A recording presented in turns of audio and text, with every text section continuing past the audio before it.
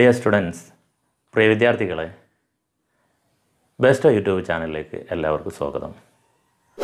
ഒമ്പതാം ക്ലാസ്സിലെ ഗണിതശാസ്ത്രത്തിലെ ഒന്നാമത്തെ പാഠം പരപ്പളവ് അഥവാ ഏരിയ അതിന്റെ രണ്ടാമത്തെ ക്ലാസ്സാണ് നാം ഇന്ന് എടുക്കുന്നത്.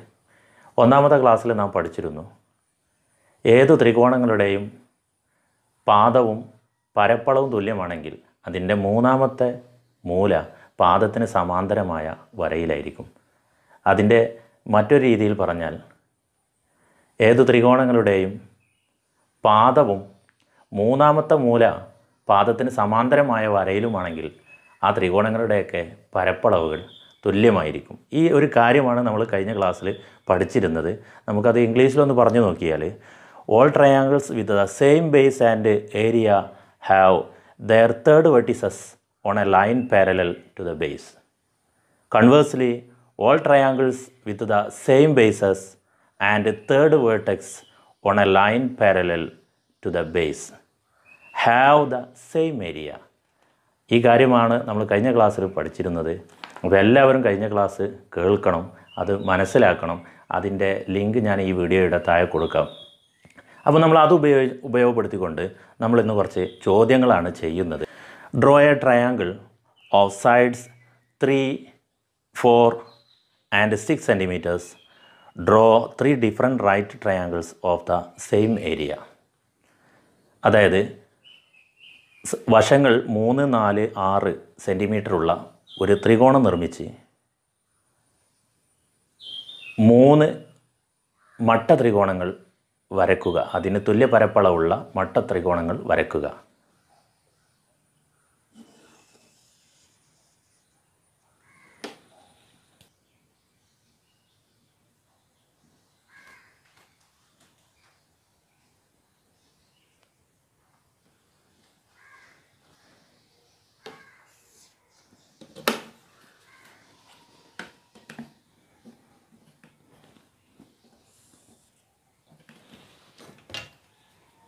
ചോദ്യത്തിനനുസരിച്ച് നമ്മളൊരു ത്രികോണം വരച്ചു ട്രയാങ്കിൾ വരച്ചു പാദവശത്തിന് സമാന്തരമായി പാരലായി തേർഡ് വെർട്ടെക്സിലൂടെ മൂന്നാം മൂലയിലൂടെ ഒരു ലൈനും വരച്ചു നമ്മൾ ഇനി നമുക്ക് നോക്കാം. നമുക്ക് മട്ട ത്രികോണമാണ് നമുക്ക് നിർമ്മിക്കേണ്ടത്. മൂന്ന് മട്ട ത്രികോണമാണ് നിർമ്മിക്കേണ്ടത്. ഇതേ പരപ്പള പരപ്പളവാവുകയും വേണം ഏരിയ ആവുകയും വേണം. അപ്പോൾ ഇവിടെ ശ്രദ്ധിക്കേണ്ടത് ഇതിന്റെ പാദവശം പാദവശത്തിന്റെ ഏതെങ്കിലും ഒരറ്റത്ത് ഒരു എൻഡിൽ നമുക്ക് സെറ്റ് സ്ക്വയർ വെക്കാം. സെറ്റ് സ്ക്വയർ വെച്ച് നമുക്ക് തൊണ്ണൂറ് ഡിഗ്രി അടയാളപ്പെടുത്താം.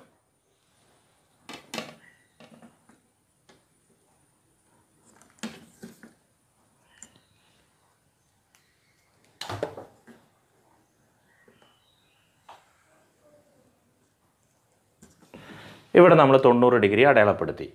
അത് മുകളിലെ പാരലൽ ലൈനിൽ സമാന്തര വരയിൽ കൂട്ടിമുട്ടിയ ഭാഗത്തേക്ക് ഈ മൂന്നാമത്തെ ഈ മൂ ഈ അറ്റത്തുള്ള പാദത്തെ നമുക്ക് യോജിപ്പിച്ച് നോക്കാം.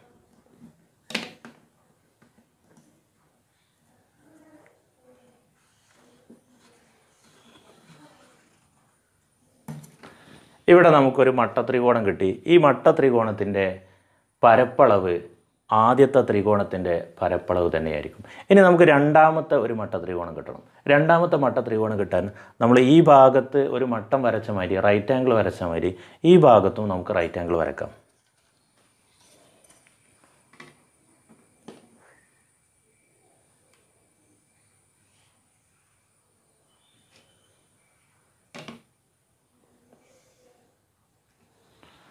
ഈ ഭാഗത്ത് നമ്മൾ റൈറ്റ് ആംഗിൾ വരച്ചു.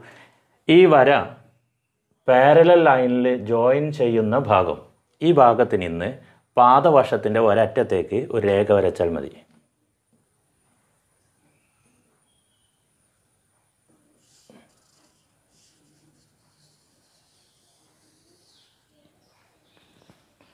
ഇപ്പോൾ നമുക്ക് കിട്ടിയ ത്രികോണം. ഇതും ആദ്യത്തെ ത്രികോണത്തിന്റെ അതേ പരപ്പളവ് തന്നെയായിരിക്കും. കാരണം ഈ രണ്ട് ത്രികോണങ്ങളുടെയും പാദവശവും അതിന്റെ ഉന്നതിയും ഉയരവും ഹൈറ്റ് തുല്യമാണ്. മാത്രമല്ല ഇതിന്റെ ഈ ത്രികോണങ്ങളുടെ എല്ലാം മൂന്നാമത്തെ മൂല ബേസിന് പാരലായ ലൈനിൽ തന്നെയാണ്. ഇങ്ങനെയാണ് നമുക്ക് ആ ചോദ്യത്തിന് ഉത്തരം കണ്ടുപിടിക്കുക.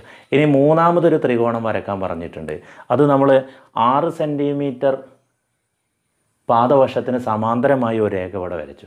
ഇതേ രീതിയിൽ നമുക്ക് നാല് വശമുള്ള നാല് സെന്റിമീറ്റർ വശമുള്ള ഈ രേഖയ്ക്ക് മുകളിൽ ഈ ഭാഗത്ത് കൂടെ നമുക്ക് സമാന്തര രേഖ വരക്കാം. സമാന്തര രേഖ വരക്കാൻ നമ്മൾ നേരത്തെ പഠിച്ചതാണ്.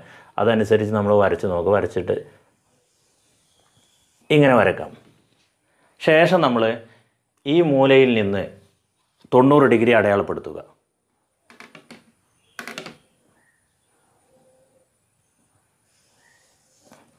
തൊണ്ണൂറ് ഡിഗ്രി അടയാളപ്പെടുത്തിയിരിക്കുന്നു. ഈ സമാന്തര വരയും ഈ തൊണ്ണൂറ് ഡിഗ്രി അടയാളപ്പെടുത്തിയ വരയും ഈ ബിന്ദുവിൽ നിന്ന് ഈ പോയിന്റിൽ നിന്ന് നമുക്ക് ഇങ്ങോട്ട് രേഖ വരക്കാം.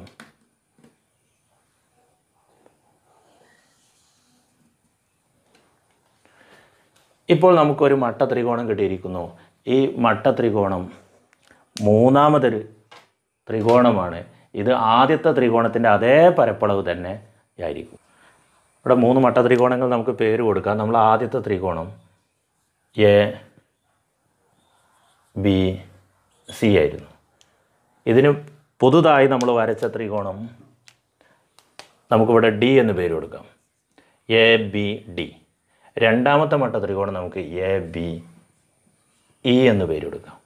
മൂന്നാമത്തെ മട്ട ത്രികോണം ബി സി എഫ് ഇങ്ങനെ നമുക്ക് മൂന്ന് മട്ട ത്രികോണങ്ങൾ ഈ ചോദ്യത്തിന് ഉത്തരമായിട്ട് വരക്കാം. നമുക്ക് അടുത്ത ചോദ്യത്തിലേക്ക് കടക്കാം. എട്ട് സെന്റിമീറ്റർ ആറ് സെന്റിമീറ്റർ അഞ്ച് സെന്റിമീറ്റർ വശമുള്ള ത്രികോണം നിർമ്മിച്ച് അതേ പരപ്പളവുള്ള സമപാർശ്വ ത്രികോണം എങ്ങനെ നിർമ്മിക്കാം? ഐസോസലസ് ട്രയാങ്കിൾ എങ്ങനെ നിർമ്മിക്കാം? നമുക്ക് ചെയ്തു നോക്കാം. നമ്മൾ ആദ്യം ചെയ്യേണ്ടത് എട്ട് സെന്റിമീറ്റർ വശമുള്ള ഒരു രേഖ നിർമ്മിക്കുക. അതിനുശേഷം കോമ്പസിൽ അഞ്ച് സെന്റിമീറ്റർ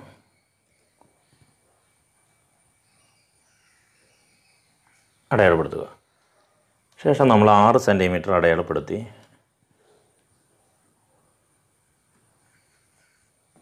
ഒരു ചാപം വരക്കുന്നു. ഇവകൾ യോജിപ്പിച്ചാൽ നമുക്ക് ട്രയാങ്കിൾ കിട്ടും.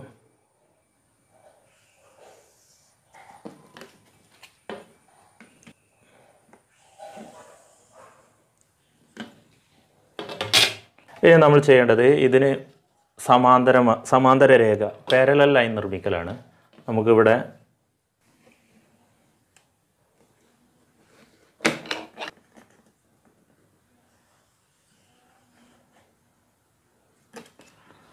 ഇവിടെ നമ്മൾ സമാന്തര രേഖ വരച്ചു. എന്നത് പാദവശത്തിന് ഒരു സമഭാജി വരയ്ക്കുക. പകുതിയിലേറെടുക്കുക പാദവശത്തിന് ബേസിന് പകുതിയിലേറെടുക്കുക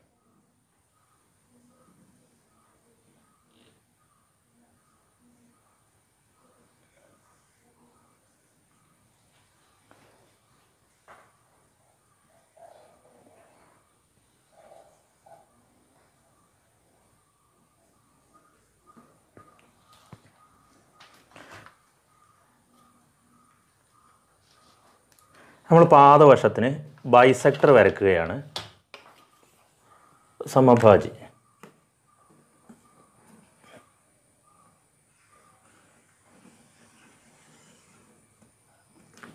സമഭാജി വരച്ചു. ഈ സമഭാജി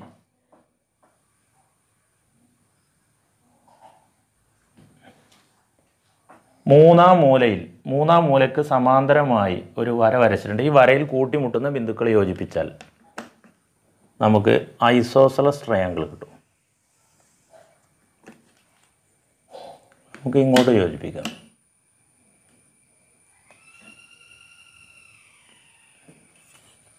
ഇപ്പോൾ നമുക്ക് കിട്ടിയ ത്രികോണം.